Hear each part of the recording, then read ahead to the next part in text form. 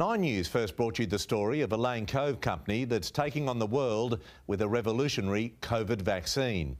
Now, human clinical trials are showing promising results for a jab that could be the first to offer immunity against all variants. Hannah Barnes is one of a select few taking part in a trial of EnGeneIC's anti-COVID vaccine once everything opened up, I, working in a school, I felt vulnerable and wanted the best protection I could get. And the early results are promising. Patients have uh, been receiving the dose three weeks apart and no one's had any side effects. The very exciting thing is the 28 day results show robust antibody responses. The COVID 19 virus has what's known as spike proteins, raised bumps on its surface. Current vaccines use antibodies to target those spike proteins, but only have a few keys to latch on.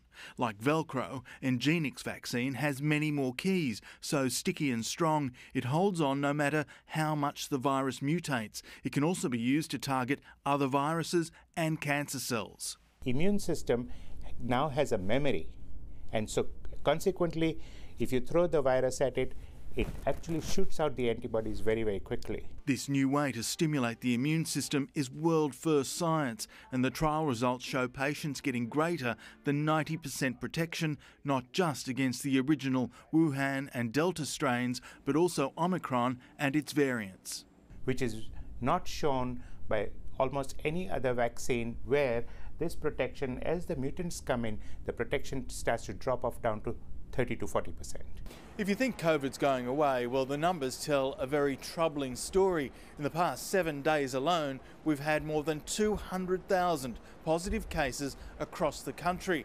And in the same period, 295 deaths, and they're just the ones officially reported.